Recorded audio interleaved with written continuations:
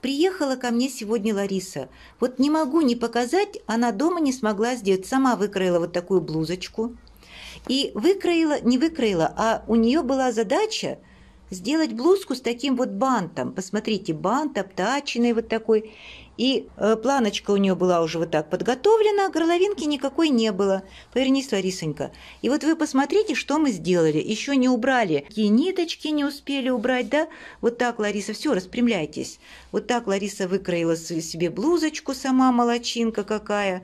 Шелковая блузка. Сейчас мы займемся тем, что будем туда рукавчик метывать. И вот такой вот чудесный, красивый у нас получился бантик. Давайте я покажу вам немножко, как мы его сделали. Да, вот, посмотрите. Сначала мы обточали концы, концы вот у этого бантика, обточали концы. Вот здесь сделали уступчик. Этот уступчик уже был у нас не обтачен, да?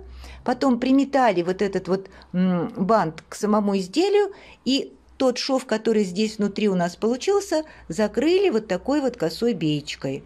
Все изнутри чистенько и снаружи чистенько. Вот такая у нас была история. Приходите к нам учиться.